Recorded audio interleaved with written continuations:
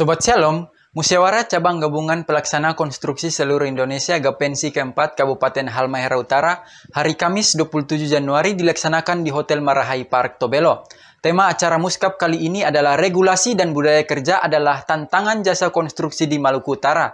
Peserta yang hadir berjumlah 35 pimpinan perusahaan yang aktif sebagai anggota Gapensi Halmahera Utara selama ini.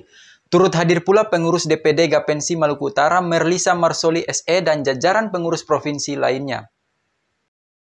Acara dibuka oleh Bupati Halmahera Utara yang diwakili Asisten 3 Yudi Hartnoya MH yang dilanjutkan dengan laporan pertanggungjawaban pengurus Gapensi periode sebelumnya. Dalam pencalonan, hanya satu nama yang dinyatakan lolos persyaratan yaitu Elvis Ongki ST, sehingga tanpa butuh waktu lama, pimpinan langsung menetapkannya secara aklamasi sebagai Ketua BPC Gapensi Halmahera Utara periode 2022 sampai 2026 dan kepadanya sebagai formatur diberikan wewenang menyusun kepengurusan lengkap BPC Gapensi Halmahera Utara. Sejumlah pengusaha seperti Christian Wisan, Yance Regel, Justus Sau sebagai salah satu dewan pengawas, sedangkan untuk posisi wakil ketua Badan Pengurus Harian BPC Gapensi Halmahera Utara dipercayakan kepada Yowas Pakiti, Dina Regel, Pendeta Jeffrey Gandasuli, Sri Bidia Stuti, Freddy Ngingi, dan Joseph Takandare. Jabatan sekretaris tetap ditangani oleh Insinyur Thomas Leibo dan wakil sekretaris dijabat oleh George Masole. Bendahara dijabat oleh pengusaha wanita Windy Priscilia ST. Beberapa nama juga masuk dalam kepengurusan kali ini seperti John Sasingen dan juga Ekber Hoata, pimpinan CV Shalom Usaha Mandiri yang menjabat Kompartemen Hukum dan Peraturan Daerah. Total pengawas dan pengurus berjumlah 30 orang. Pelantikan dan pengambilan sumpah atau janji BPC Gapensi Halmahera Utara dilakukan langsung oleh Ketua BPD Gapensi Maluku Utara Merlisa Marsoli kepada wartawan Shalom News Bertiti Misela, Ketua BPD Gapensi Maluku Utara, Merlisa Marsoli, mengatakan harapannya agar ketua dan anggota Gapensi Halmahera Utara bisa bekerja secara profesional dalam melaksanakan tugas dan pekerjaan proyek pemerintah yang dipercayakan.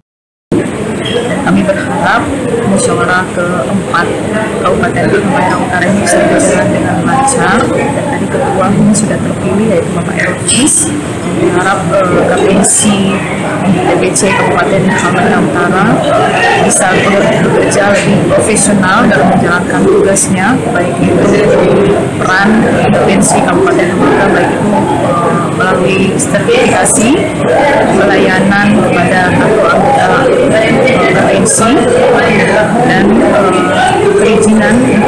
SPU bisa dilakukan dengan lancar. Ketua terpilih Elvis Ongki dalam sambutannya setelah pelantikan mengatakan niatnya untuk membawa Gapensi Halut dengan semua anggotanya menjadi perusahaan yang mandiri dan punya daya saing dengan perusahaan lain dari luar Halut dalam hal mendapatkan pekerjaan konstruksi di Pemkat Halut. Ia juga ingin Gapensi Halut menjadi mitra pemerintah daerah dalam pembangunan Halmahera Utara.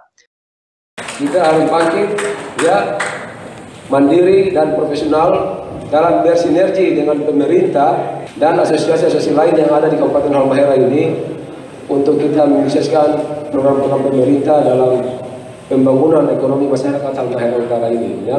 Saya berharap nanti ke depan kita akan menjadi mitra pemerintah yang yang bersama-sama untuk membangun infrastruktur yang ada di Halmahera Utara ini.